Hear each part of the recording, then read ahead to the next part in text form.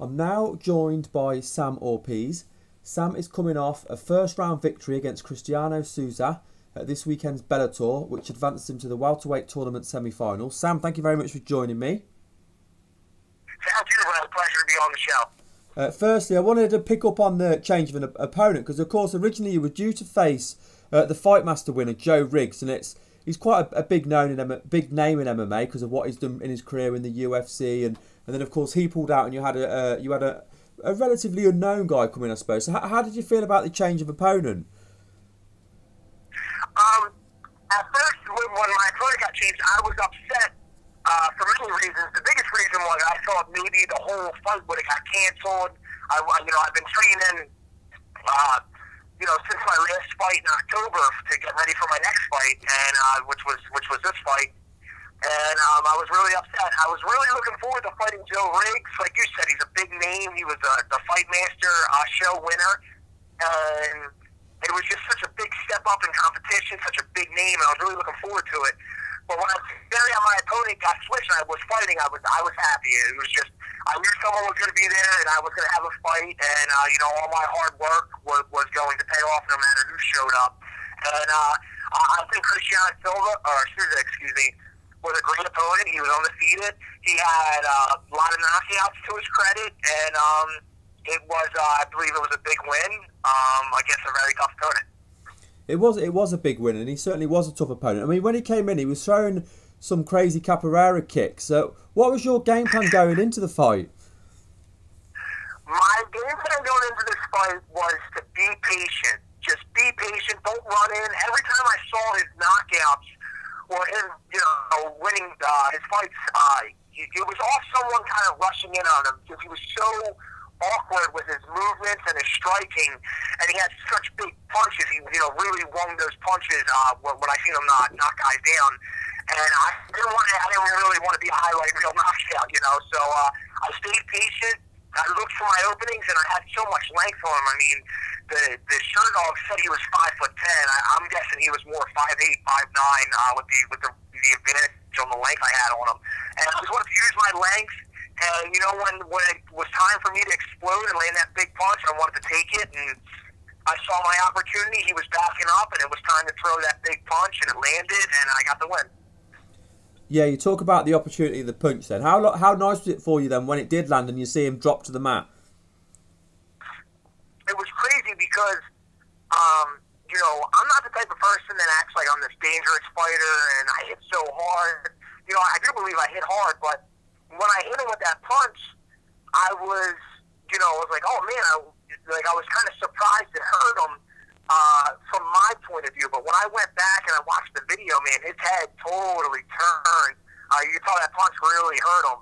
And uh, when he fell over, I just knew, you know, I'm not the person that enjoys hurting someone or anything, but I just knew I had to stay on him and just have the ref stop the fight. And right when I felt the ref's hands touch me, uh, it's the best feeling in the world. You know it's all over and, and you got the win.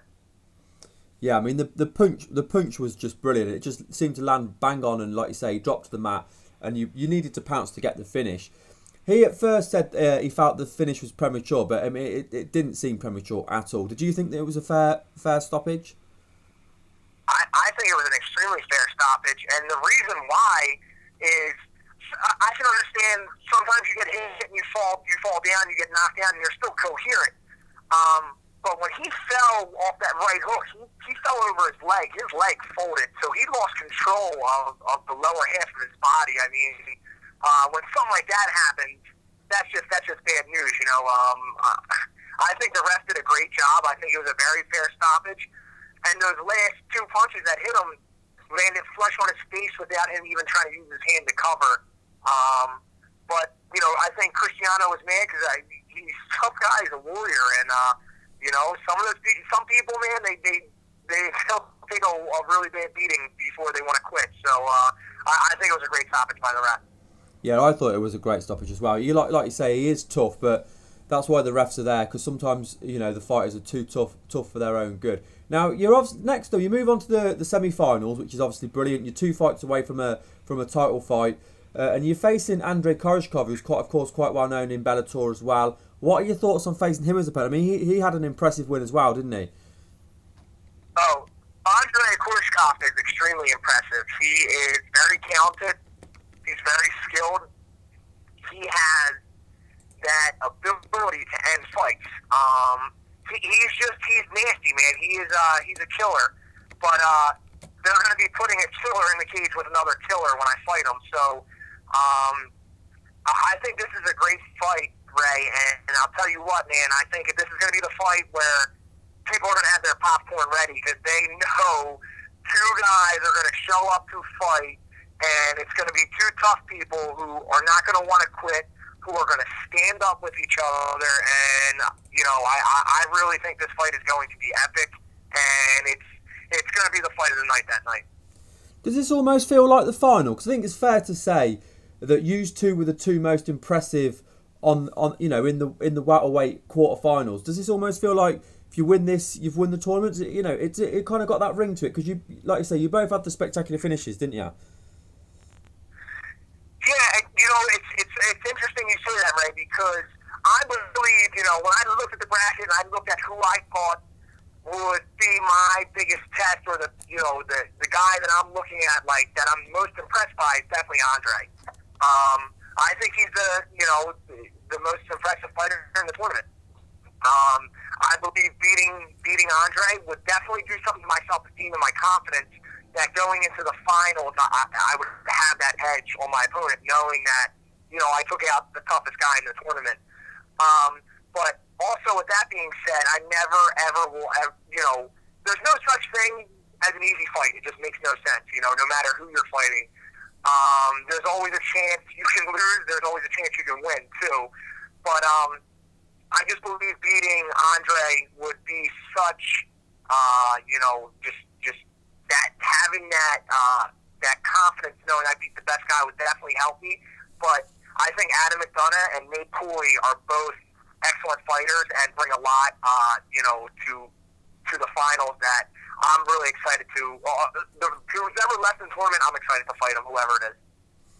Yeah, but I can see what you're saying about Andre though. I mean, of course, he's got one loss, and it was to Ben Askren, who was, you know, the the most dominant welterweight probably in the history of Bellator. And of course, now that he's left the division, it's left that uh, title wide open, hasn't it? Of course, we've got Douglas Lima going to face Rick Hawn. And whoever wins this tournament then is going to be the number one contender. So it feels like the division's wide open now because Ben Askren has been quite dominant, hasn't he? Yeah, Ben Askren was, you know, he's so good. Ben Askren's unbelievable. He, he's you look at that guy, like how do you beat Ben Askren?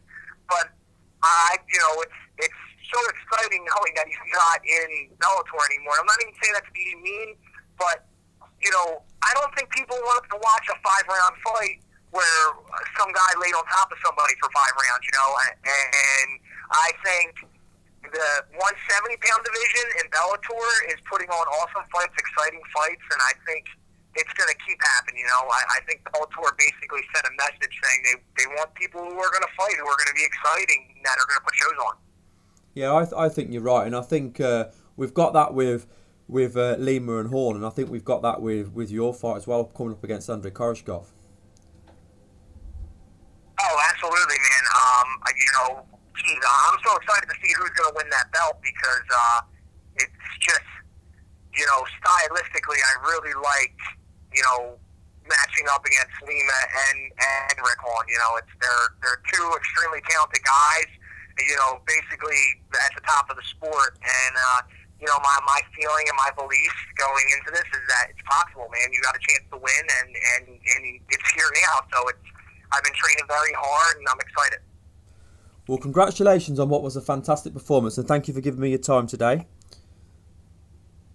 Absolutely, Ray. Thank you uh, for, for interviewing me. I greatly appreciate it. And I just want to say, uh, you know, I always have a special place in my heart for the for, for the Brits. Uh, my grandmother was from Liverpool, England, and uh, she was the toughest woman I've ever met in my whole entire life. So I greatly appreciate the interview.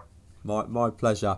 Before we let you go, I just want to give you a chance to do some shout outs. So let the listeners know about your Facebook and Twitter. If there's any sponsors, friends, family you want to shout out, feel free. Yeah, follow me on Twitter at SammyO85. Um, Facebook.com uh, slash Sam Oropeza.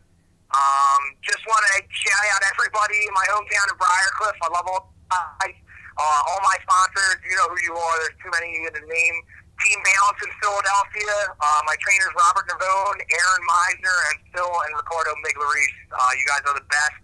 And uh, make sure everybody tunes in April 4th uh, as I take on Andrey Koreshkov in the uh, semifinal of the Bellator welterweight tournament.